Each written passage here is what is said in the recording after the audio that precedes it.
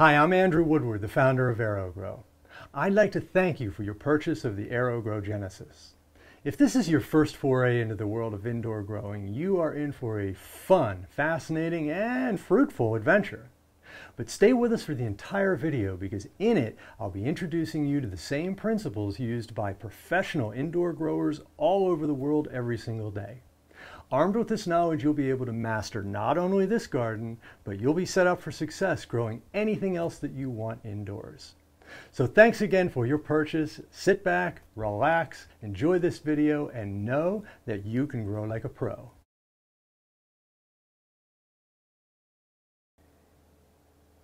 Okay, so there are basically two paths that you can go down when using your Aero-Gro Genesis.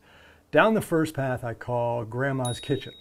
And that's a simpler path. And what it's really good for is for people who just imagine growing one crop all the time. Let's say, for example, your thing is basil and you want to have basil all the time on your pizza. So for you, all you really need to do is figure out the recipe for basil and how to mix nutrient solution for that one crop and just do the same thing every single time. Now, for that type of person, I would not necessarily recommend following anything more complicated than the grandma's kitchen method. And we will cover that in the video. However, the other path that you can go down is what I call the Aero-Gro method. And in this method, what we do is introduce you to some of the core concepts used by growers every day in the indoor growing world and we also introduce you to the use of this tool. It's called a five in one meter. This is one variety of it. There are many. This is one that we sell. But this meter, oh, by the way, and uh, you will be getting one of these for free since you bought this unit if you choose to, to uh, use this. And this unit really is the difference between growing using grandma's kitchen method and growing like a professional grower. And we'll be talking about all these concepts, but you need to really kind of decide for yourself do you want to go down the simpler road and just rinse and repeat growing one thing? Or are you the type of person who wants to, for example, uh, switch it up? You want to grow peppers one, hot peppers one time, like here. These are hot peppers here, uh, one time, and then you want to grow lettuce the next time, and then maybe you want to grow tomatoes after that. For someone interest, interested in switching like that back and forth between crops, I would highly recommend going with the Aero-Gro method because it will make it much simpler for you uh, when you're trying to uh, keep track of the different levels of nutrients required by different plants because you keep switching between them. It's very difficult to do that successfully. It's really much more successful when you just fully embrace the professional methods that are used, which we'll show you, and use the tool of the trade uh, that you see here. And that makes it a much more pleasant experience. But we, like I said, we will cover both ways, and it's going to be a lot of fun regardless of which method you choose. So no pressure. So the first thing that I'd like to tell you about is the very special offer that I have for people who buy the Aero-Gro Genesis. And that is that if you look for this card inside of your unit, there's a QR code here. You can scan this, go to the aerogrow.com website and sign up. Uh, just your name and address is all we need. And we'll send you a free meter. This is a pH meter. It also measures TDS, EC, salinity, and temperature. A five in one meter is a $60 value on Amazon and you're getting one for free. All you have to do is go to that site, go to that page, scan the code, fill it out, and I'll send you one for free. And it's a really important part of this process. We can measure pH and EC, which are an important part of the process in growing. So grab your free meter and let's go. So as you can see, I've laid out all the parts that are included with the unit in front here. And I want to go over each of these pieces. Some of them you've already seen. This one is the bag we just looked at with the seed packet and the card, which you can use to uh, get your free meter. And then you have some seed starter cups. And there are either three or four of these. Sometimes they're provided with three. Sometimes they, uh, the manufacturer provides an extra cup. I'm not sure why, uh, but there will be enough for your seedlings in here. Either three, or, three cups is all you need, but there may be four. Uh, then there are the lids for the seedling cups. There will be four of those, either three or four of those. Then there are the small plastic cups, which after your seedlings have sprouted, you'll use those to protect them uh, as, they, as they grow for the next week or so.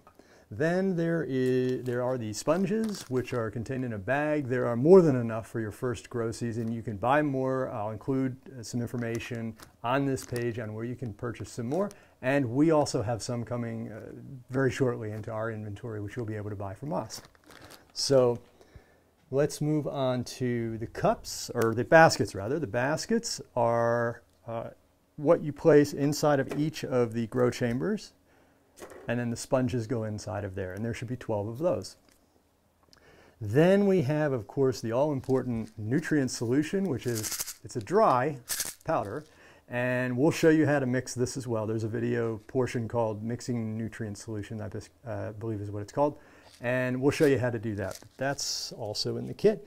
And last but not least is the power adapter, which plugs in actually the back of the unit here, you'll find the uh, small port on the bottom. And we're going to go over how to hook that up as well. So those are the components. I didn't mention it, but the, of course, the instruction manual, which is how you got here, is also included. And this uh, will have QR codes to all of the videos. They do all lead to the same page, so you can't get lost.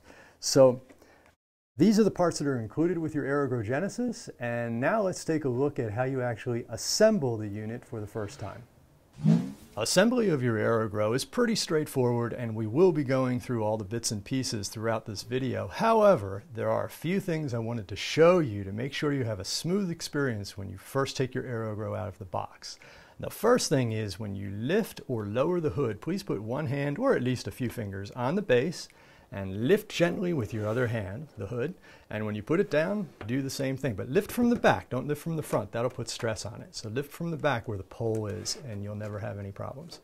The second thing is, inside of your nutrient chamber, sometimes during shipping, this small rubber piece here, which aims the water, tends to come loose and it's just kind of wiggling around inside the tank here. So simply take that, place it back on the pump and make sure that it's pointed inwards towards the water so that it circulates it properly when it turns on.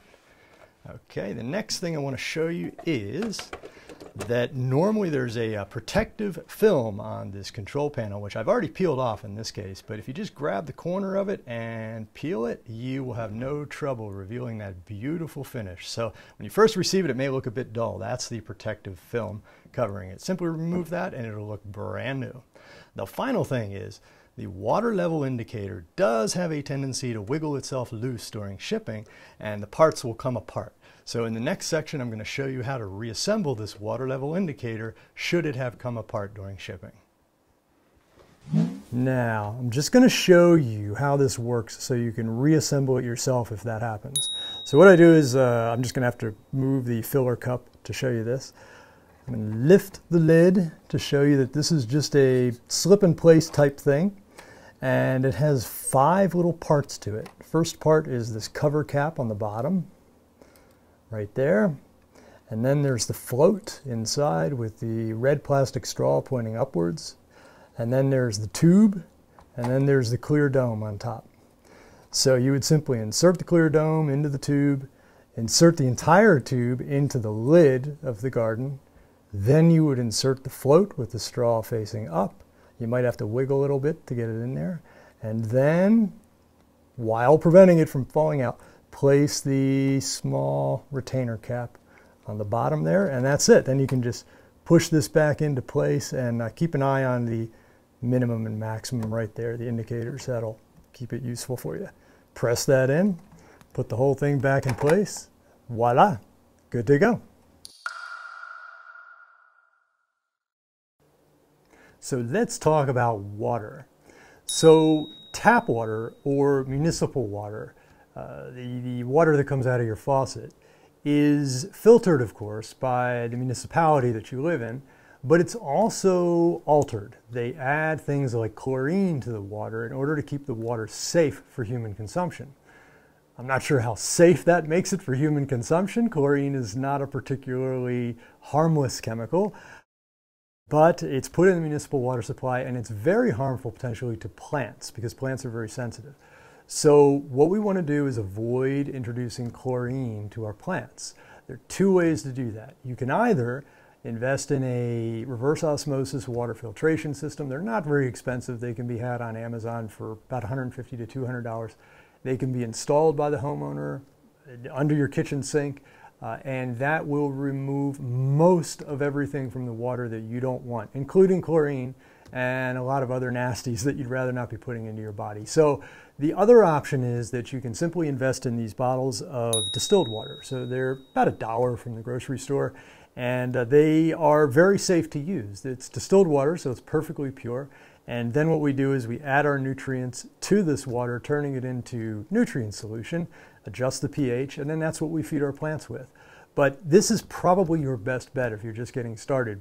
Also because uh, the, the Aero-Gro Genesis fits 3.87 liters of water, which is just about one gallon. So one gallon's perfect for one unit. So if you pick up uh, some of this, do pick up several because although you will be starting the unit out with one gallon of distilled water, in about a week, those plants will have used some water and you'll need to add some more to the tank. So pick up a couple of these and have them on hand. So what is the Aero-Gro method? The Aero-Gro method, stated simply, is a collection of tools and techniques that have been borrowed from the world of professional indoor growing. These are the tools and techniques that are considered the most essential for success when growing indoors. With Aero-Gro, we've brought together these tools and techniques into a format that's more accessible, easier to understand, and more affordable for people who would like to achieve the same great results the pros do right at home.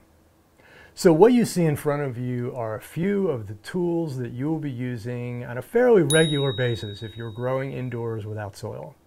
Starting with measurement. Now, I really cannot overemphasize how important the ability to measure accurately is when you're doing indoor growing.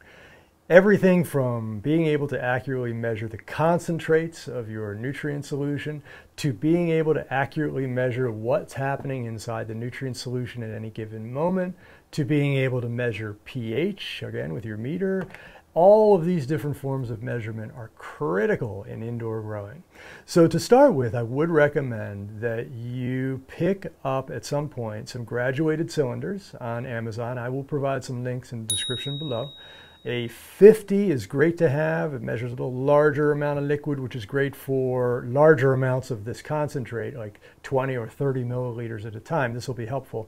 And also a 10 milliliter graduated cylinder, because if, if you only need to measure a very small amount, the only way you can do that accurately is with a smaller graduated cylinder. If you're only measuring 5 milliliters, very difficult to measure 5 in one of the larger graduated cylinders. Very easy to measure 5 in one of the skinny, smaller graduated cylinders. So I would recommend those two as a start. Now, the meter we've spoken about, uh, you've either already received it or on your way to receiving it or are about to send away for it. And it is a really critical tool to have in, in your uh, toolbox for indoor growing. Uh, there are other uses for this meter that I will talk about in other videos, but for now, just know that it's a gotta have. And again, it doesn't have to be ours, but it does have to be a pH meter and an EC meter because this meter, although it will measure five different things, the two we're most concerned about with the Aero-Gro method are the EC and the pH. Those two are critical. So if you are using another meter, a different meter, or one you already have, that's fine. Uh, as long as it has the EC feature and the pH feature, that's fine. So here we have the uh, pH up and down, which is really critical because every time you go to mix up your nutrient solution, the pH will be wildly off. I can just guarantee you that. So you will have to adjust the pH, which you've then measured with your meter. It's the very last step before you add the nutrient solution to the garden is you measure the pH, you adjust the pH, and then you add it to the garden.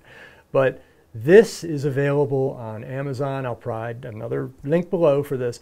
But this you can buy from anybody. It doesn't matter who makes it. It's, I think, the same, literally the same chemical, regardless of uh, who you buy it from. And last but not least, the nutrient solution can be purchased from other manufacturers. It does not matter. But the one thing I want to tell you about is that these are nutrient salts. There's an A and a B. That's why there's an A and a B. These two work together. And nutrient salts are important to be using in this methodology because the meter is measuring electrical conductivity, which is provided by the salts. So they work together. The nutrient salts and the meter work together. So as long as you are purchasing a, an aeroponic or hydroponic A, B nutrient solution, full spectrum, you'll be fine. You may need to do some testing to get the concentrations correct, and, and we can help you through video with that. But uh, that will be uh, something we can talk more about in future videos. But again, I will provide a link below for a nutrient solution should you need it in the interim. Okay, growers, let's talk about seeds. Seeds are obviously the most important part of this process. The seeds that you are receiving, the five different seeds, are, in my opinion, fantastic. They are organic and um, they're, they're hybrids, they're award winners, they're known for growing well indoors. They're, they're, I have nothing bad to say about them. They're great seeds. But here's the thing you need to know. Each type of plant has a different nutritional requirement. It's very much like eh, a tiger and a house cat are both cats, but when it comes time to feed them, they will have very different nutritional needs. They may be able to live next to each other, but not when it's feeding time. And the same thing is true for your plants. The, a red ember pepper, for example, eh, which produces a fruit, a pepper, is going to have a much different nutritional profile than a buttercrunch lettuce, for example, which is just wispy leaves. So the red ember peppers need a lot more nutrients the buttercrunch lettuce needs a lot less, much less nutrients. So the way we control that, eh, there are a couple different things here, and this is, this is where it gets exciting. On the back of each of these seed packs is a tag. On this tag are two bits of information that for this product and these seeds are critical, and it's all provided for you. The two pieces of information are the pH range and the EC, or electrical conductivity. The pH range is the pH of the solution, and that is important to control that. We'll get into that later. But the, the, the EC range is the most critical bit of information. Also, again, measurable with the meter, which you're, of course, going to order. And that is what changes from seed pack to seed. Well, the pH and the EC change from seed pack to seed pack based on the individual requirements of that plant. So, what that means is I would recommend not necessarily mixing any two of these plants in a single grow session. I would recommend, even though there are 12 pods, pick one type of plant that you want to focus on for each grow cycle and grow that because then you can very specifically control the needs that that plant has by measuring the EC and the pH and giving that plant exactly what it wants for its entire grow cycle. Now, Feel free to experiment. It's your garden. If you would like to combine them and experiment with nutrient levels and pH and whatever else you want, go ahead, and go for it. But this is a system. The, the Aero-Gro system of growing is, has been tried here, it's been tested, and it's known to work well. And you won't go wrong if you follow the instructions of the Aero-Gro methodology. So that's how the seeds work. And the next step, of course, is to prepare your sponges for your first seeds. And let's go ahead and do that now. All right, so now that you've decided which seeds you want to plant and you've decided how many of them you want to plant, it's time to get your sponges ready. In this case, I have decided that I want to plant five Bibb lettuce plants in this unit. Okay, even though there are 12 pods, I'm only going to plant five plants because if you look at Bibb lettuce right here, it's a very bushy plant. It wants to go big. So if I were to put 12 plants in here, there wouldn't be any space for them to grow. So what I do with Bibb lettuce is I choose five or six pods to use for Bibb lettuce. So that's what I'm going to do. I will plant six Bibb lettuce pods today. And I have the seeds in this little dish right here. And to get started, I'll simply take out six, because I only need six, right? Six of these uh, sponges, grow sponges, and they are made out of a type of peat moss. It's all organic, it's all completely edible and safe. Uh, these get placed into some water. Again, this is distilled water or reverse osmosis. Do not use tap water. Please don't use tap water. So fill that up a little more.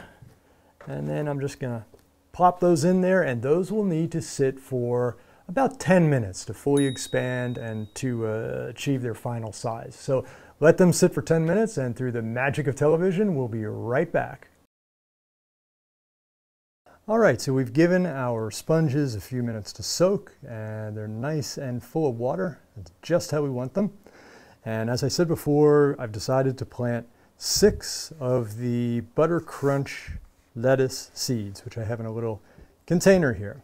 And I think it's helpful to use a small toothpick when you're doing this. And all you do is just dip it in the water and pick up a seed, a single seed. It'll kind of stick to the end of the toothpick. It's really helpful and then you just place it inside of the sponge. So what we do first is we place four sponges in here, and you'll see that they fit perfectly in these little containers. Two, three, and four. And then for the next container, we just have two. I'll place those opposite. No particular reason, I just like everything to have a little space. Move that to the side. Okay, now what we will do is we'll put a single seed inside of each one of these sponges. I'm going to pick one up.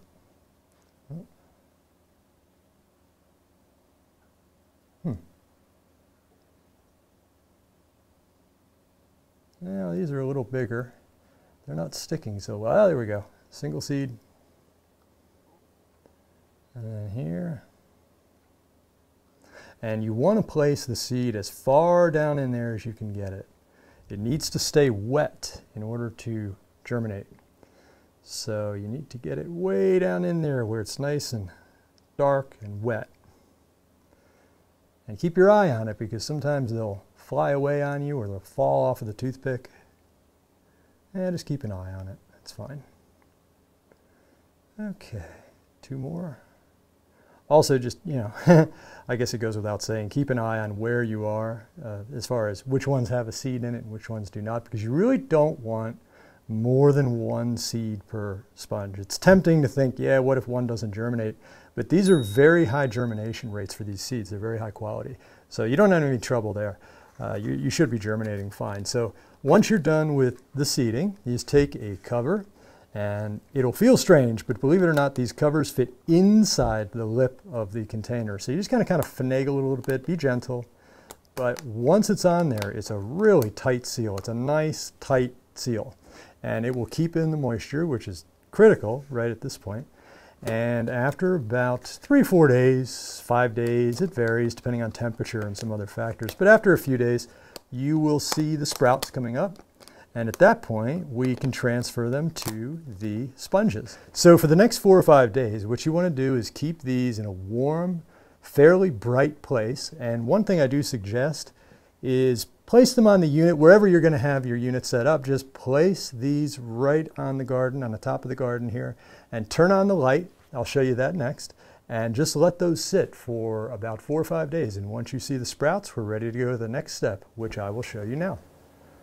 So let's say you'd like to use your Aero-Gro Genesis as a light source for your germination process. That's totally fine, but do remember one thing. There's an electric water pump inside the tank here, and it needs water in order to pump. So if you try to run this without water in it, it'll make a terrible screeching noise that I hope you never hear. But all you have to do to overcome that is turn the unit around, and you will see that there is a plug right here. This plug in the back is for the pump unplug that, and you're done. Now you can use your Aero-Gro Garden as just a light source during germination. However, don't forget to plug in the pump again before you go to use the garden for real. Now I'm just going to plug in the power in the back, and then I'll press the power button. Voila! 24 watts of perfect lighting to help you in your germination process. So what you're seeing here are seedlings at different stages of growth. These seedlings here on your left are those that were planted in the video five days ago. So these are five days old. They're just starting to peek out of the sponges. I see a bit of green, but I do not actually see any leaves yet. it's okay to plant these in the garden at this point. That's fine. As long as you can see some green and you can see that they're healthy and on their way and that they've fully sprouted, it's time to go and plant them into the garden. Now, these seedlings represent uh, seedlings that are about 10 to 12 days old. So these actually are a bit overgrown for these containers. These should have been transplanted about two or three days ago.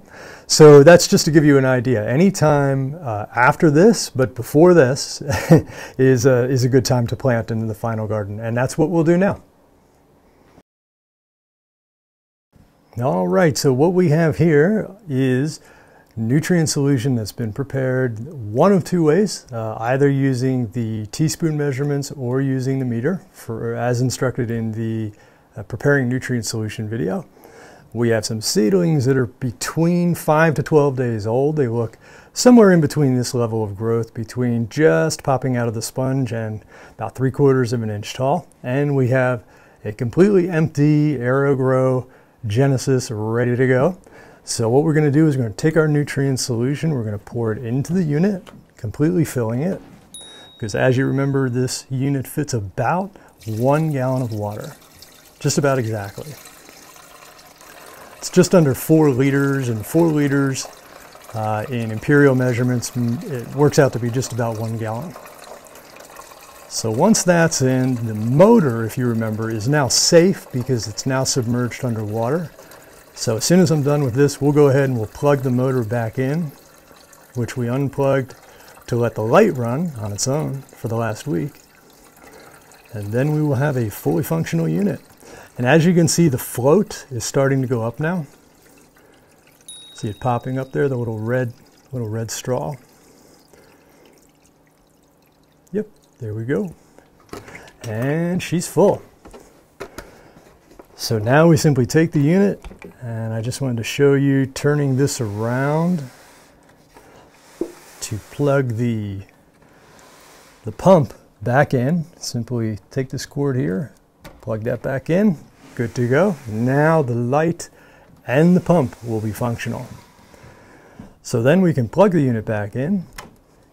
I'm not going to turn on the light because that'll throw the lighting off for this demonstration, but uh, you can assume now that it can be turned on by hitting that button to turn the light on. And what we're going to do is very simple. We're just going to take each one of these seedlings and place it in a basket. And remember, we're only planting six uh, seedlings today, so we're going to space them out. And I'm only going to show you four in the interest of time, but you would simply take them and place them out, space them out rather, throughout the garden. You know, just any arrangement that seems to make sense to you. There are really no rules about that. Uh, and then we like, like that. Oh, and also something else I want to show you here. If you can notice that, let's see if I can show this a little better. There is a tap root on this on this seedling here. If you can see that on the mat here.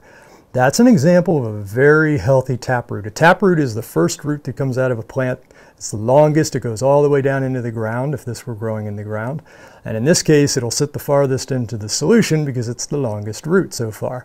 And what I wanted to show you is how healthy and white and beautiful that looks. And that is what you want to see at any time with the roots in your unit. You want them to be nice and bright and healthy and white.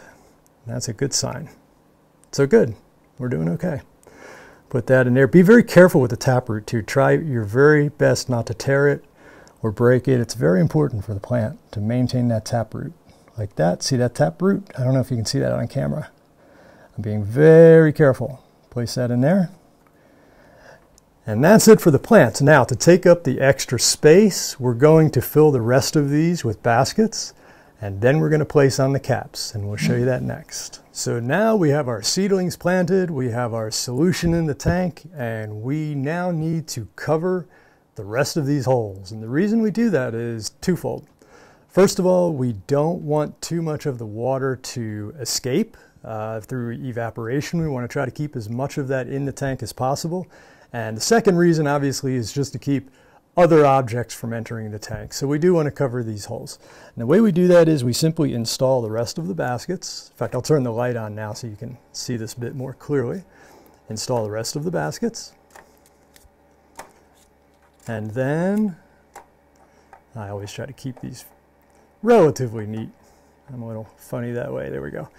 And put those in like that. And then we're simply going to take some of these dome caps, which normally, okay, at this point, if your seedlings are still very young like this, if you choose to, if they look very delicate or like they might be a little underage, simply stick a cap on there to maintain the moisture level inside of that dome. That's what these are actually for. This is the original intention. Uh, I use them also to prevent evaporation, but really they are to protect the young seedlings. But if your seedlings are maybe a half an inch, three quarters of an inch high like this one here, there's really no need for a dome cap. All you're going to be doing is the plant will be hitting the top of the dome cap and that's just silly, so you don't need to do that. Uh, so it's just for this intermediate stage that we have these caps and for preventing evaporation. So this is all I do. I just place these on the unused ports, the unused pods, and uh, that's it that will prevent evaporation. So now we have a unit that is fully assembled and running. So this will be allowed to run on its own and cycle. It will turn on the pump. The, uh, the water pump will turn on for 15 minutes every 45 minutes automatically, whether the light is on or not. And the light will cycle between 12 hours on and 12 hours off the moment you hit the button to turn it on. 12 hours from then, it will turn off. That's how that works. All right, so now it's time to mix up our first batch of nutrient solution. Okay, so the first step is to mix up our nutrient solution bottles, our part A and our part B. So very simply, we take the cap off of each one, and then there's a second pour cap where, with a little hole in the top. Take that cap off as well. And you'll notice that there's a small covering inside there. Take a little screwdriver or knife or whatever you have handy and just pry that cover out there. And let's get rid of that. Do the same for the other bottle. Pop the top. And then unscrew the second cap. Remove the cover.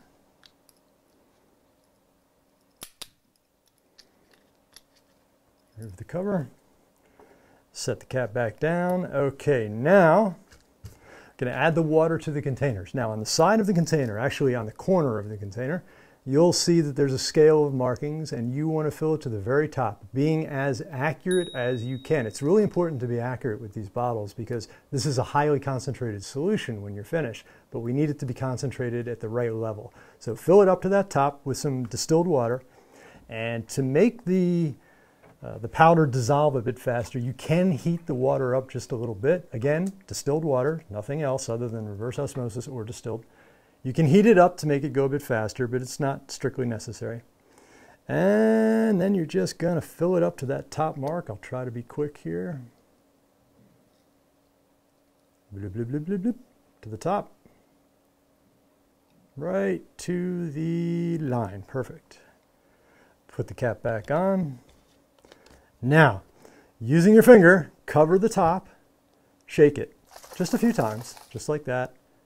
Then replace the cap and let it sit for 10 or 15 minutes is probably good enough. Now we'll do the same for the B bottle. See our markings there.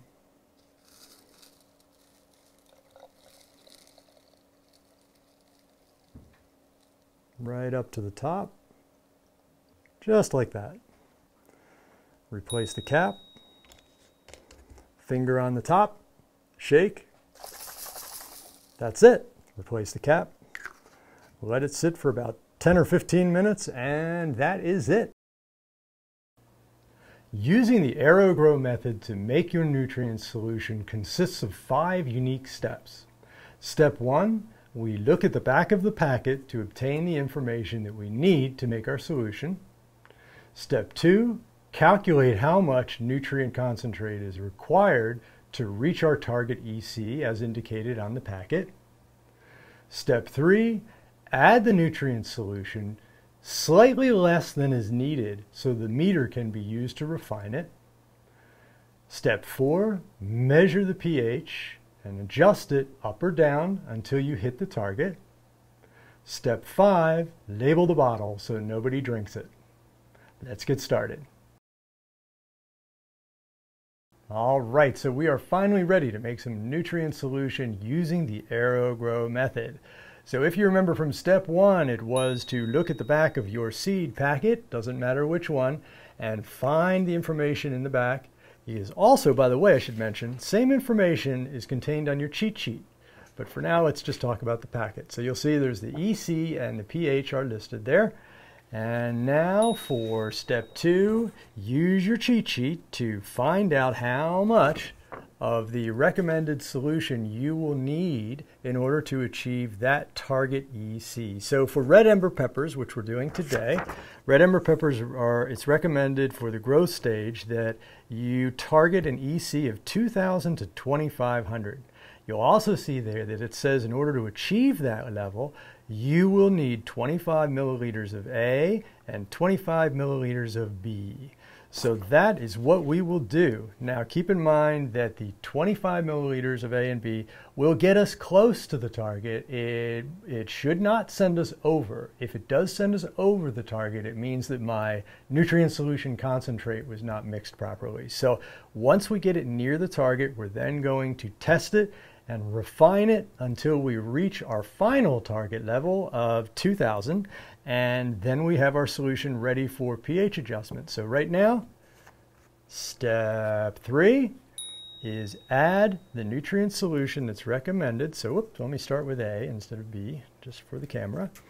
And remember, keep your caps separate uh, so that they don't get contaminated. And oh yeah, you know what? We will use the cap for this actually. Remember that your cap has markings on the top. Normally I do here in the lab, I use these graduated cylinders, but the cap does have milliliter markings on it that are very useful when you're mixing up nutrient solutions. So simply use that for now. I'll do the same. And we're going to pour 15 into here. That's the maximum you can pour into the cup. I'll lower this for the camera here. 15. Now I'm not eye level with this, so my measurement may be a little bit off. You do want to be eye level typically when you're measuring, but I'll do the best I can. Whoop, wait, before I start, let me show you this. Top tip. These bottles are filled almost to the top every single time you buy them at the store. I don't know how they even pull that off, but there are all the way to the top. So what I like to do is I'll just take a little bit of that water out of the bottle just to give myself some room so I have some place to actually put the concentrate. Otherwise, it'll be flowing over the top and your measurements will be off and everything will just go sideways. So we take our 15 milliliters, pour that in. We'll take another 15 because we need 30, right? All right. Sorry, we need 25. I'm sorry. Okay, so we're going for 25 milliliters of A. Before I make a mistake here, oh boy, I was almost ready to make a mistake there. Okay, so we have 10 more of A, so that gives us 25. All right.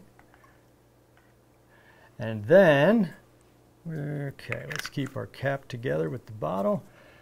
And then we are going to add 25 of B. All right, add 15 first here. 15 and 10 more. All right. So now we have exactly 25 milliliters of A and 25 milliliters of B in this bottle. Give it a little shake. All right. And then we are going to take a test. We'll put our meter into EC mode. Let's see, we are in EC mode. That's good. All right. And then let's see what we have. Okay, so we got to, that's good, that's good. We got to about 1630 on our first attempt here. I did put in a bit less than uh, I, I, normally would.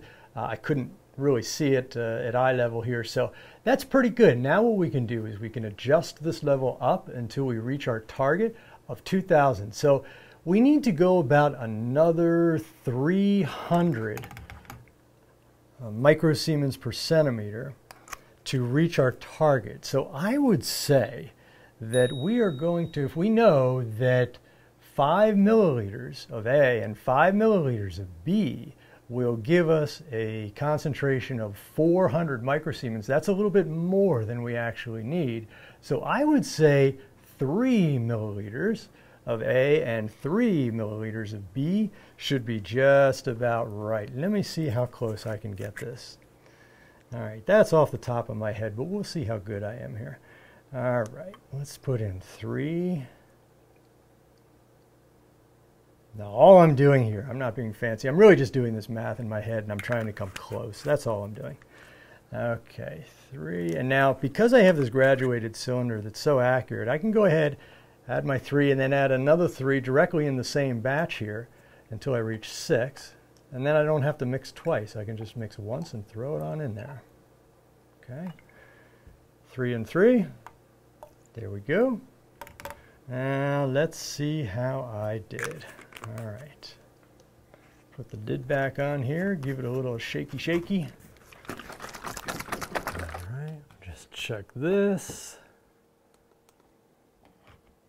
All right, this nutrient solution is where we need it to be and ready for pH balancing.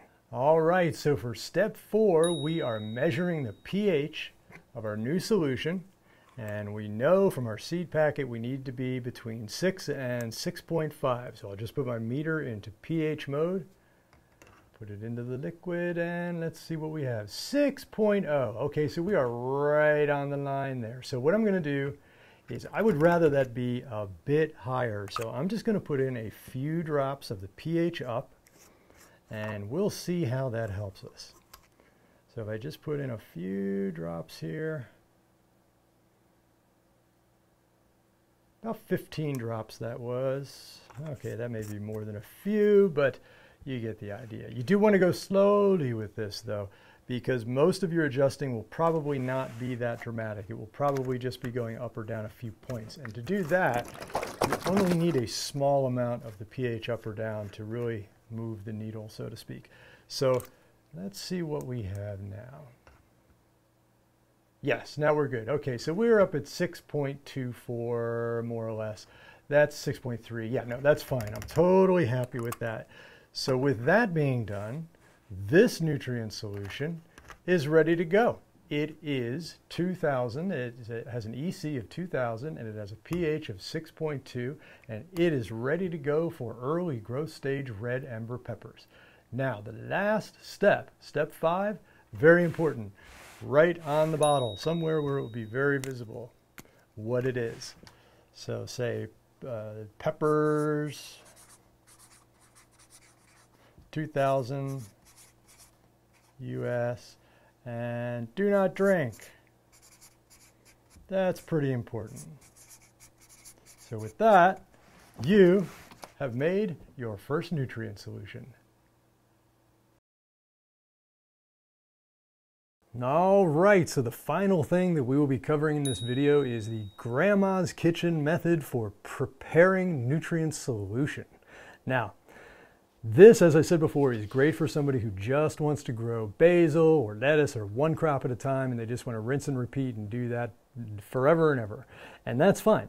The difference is that you have no control over your pH and you have very little control over the accuracy of your nutrient solution. You kind of have to hope that you mixed it correctly and hope that you're measuring correctly. But here's how you do it. Very simple. Let's say we are mixing up uh, for butter crunch lettuce. Uh, we want some starter solution, which is 500 to 750 microsiemens. And it tells us that we should use one teaspoon plus 10 drops of A and one teaspoon plus 10 drops of B. Perfect. That's all we have to do is measure it and add it to the jar. Keep in mind, you have two ways to measure this. You can either use a teaspoon from your kitchen, and I would recommend also using a teaspoon that's marked for both imperial, as in one teaspoon, and also marked for the metric equivalent, which is five milliliters. And that just means it's more accurate. So you can use this or you can use the cap of your nutrient solution concentrate, which also has measures for 5, 10, and 15 milliliters. So all you would do is, in fact, we'll use the cap this time. We'll simply take the cap and we'll take the top off the water. We will add our one teaspoon, which is five milliliters. Now this won't be terribly accurate because I can't be eye level with it because of the camera, but I'll put five of A, oops, and then we will put five of B.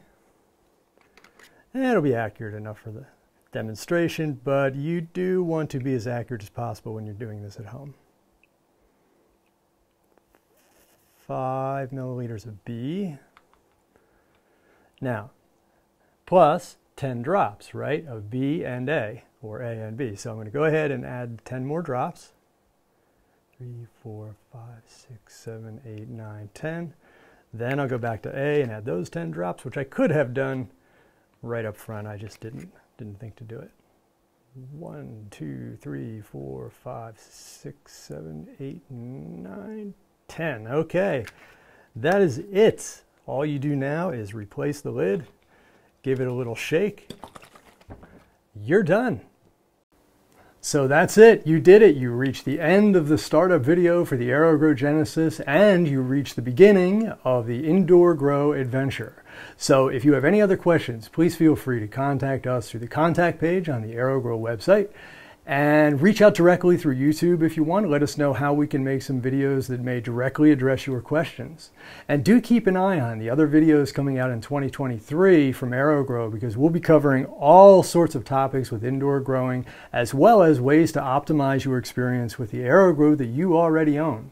So with that, I want to say thank you again for your purchase.